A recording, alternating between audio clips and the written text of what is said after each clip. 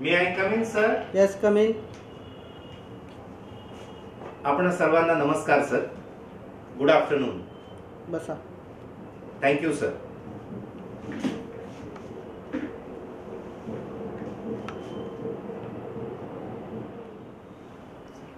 या भागात आपण येताना कसं यावं रूममध्ये आल्यानंतर काय बोलावं आणि कसं बसावं? याबद्दल बोललो. आपण बघितलं. मी येताना म्हटलं मी आय कमिंग सर आणि थोडासा मी झुकलो नम्रतेने थोडासा. मी आय कमिंग सर याच्यात नम्रता पाहिजे. आपण परवानगी घेतो आहोत असं वाटलं पाहिजे. आपण नम्रतेने परवानगी घेतोय हा भाव आला पाहिजे. मी आय कमिंग सर त्यांनी यस म्हटल्यानंतर आपण या. आल्यानंतर आपण त्यांना अभिवादन करा. नमस्कार आपल्या सर्वांना नमस्कार. कारण तिथे तीन चार जण असतात. पूर्णच इंग्लिशमध्ये म्हणायचं असेल good morning to all of you sirs एक मॅडम असतील पॅनलवर तर आपण अगोदर त्यांचा उल्लेख केला पाहिजे. Good morning madam good morning to all of you sirs या पद्धतीने आपण म्हणू शकतो. आपण जे बोलता आहात ती नम्रता आपल्या आवाजात आणि आपल्या चेहऱ्यावर दिसली पाहिजे. हे असं ड्राय कम्युनिकेशन नाही झालं पाहिजे. म्हणून आपला चेहराही तसाच. आपण कोणाला तरी अभिवादन करतोय. गुड मॉर्निंग सर्स किंवा आपल्या सर्वांना नमस्कार.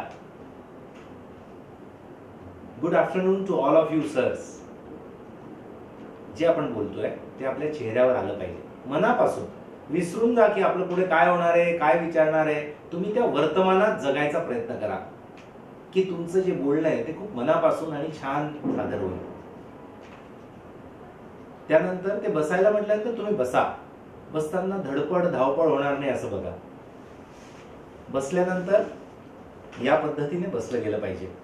आपण खूप झुकून बसलो खूपच ताट बसलो या दोन्ही गोष्टी आपल्याला टाळता आल्या पाहिजे.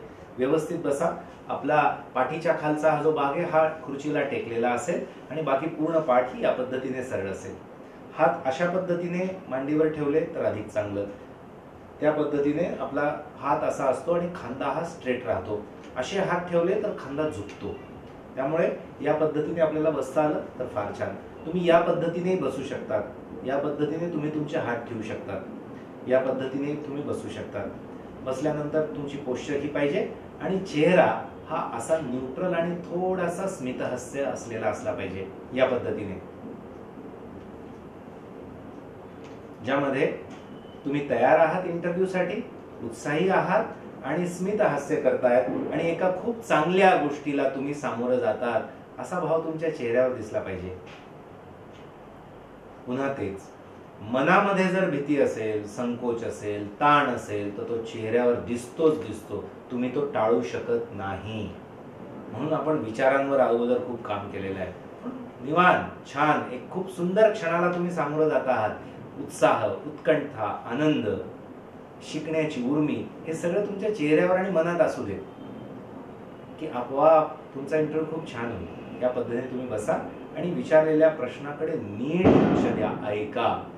कुठलेच इतर मनात विचार नाही ठेवले भूतकाळाचे आणि भविष्यकाळाचे तर आपोआप तुम्ही वर्तमानात समोर विचारला जाणारा प्रश्न शांततेने आणि व्यवस्थित ऐकू शकाल.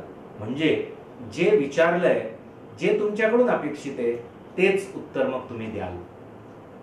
या पद्धतीने या सत्रात आपण शिकूयात. आपण हे शिकलो की कसं यायचं कसं बोलायचं आणि कसं बसायचं. धन्यवाद.